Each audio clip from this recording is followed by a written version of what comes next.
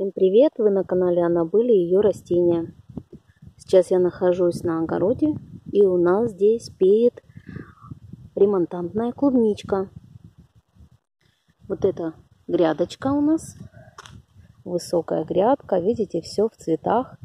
И здесь у нас вызревает Женева. Вот она вот такая вот, очень ароматная, сладкая, вкусная. Но вот э, ягодки по сравнению со вторым сортом поменьше. Это связано с тем, что его нужно очень хорошо удобрять. Чем лучше удобряешь, тем крупнее ягодки получаешь.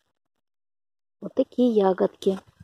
Второй сорт очень похож на сорт Клери, Клэри, потому что не могу сказать, что это за сорт, он такой оранжевый, он жесткий, как сказать, мясистый. Не жесткий, а мясистый.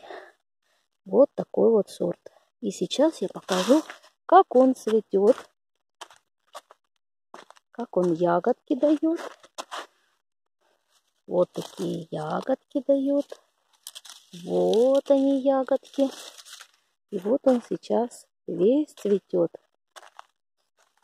Цветет он вот так, на поверхности, над кустиком. Вот, вот так. Вот такие замечательные у нас ягодки. Это вторая волна цветения и сбора ягод. И будет еще много времени, целый август, сентябрь можно собирать и даже октябрь, если сделать укрытие с агроволокна от первых заморозков ну, можно получать еще вот такие вот ягодки. Очень вкусные.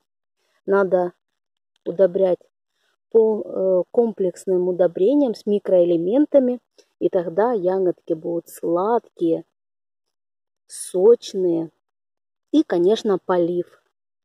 И нужно к микроэлементам э, есть э, удобрение чистый лист называется для клубники.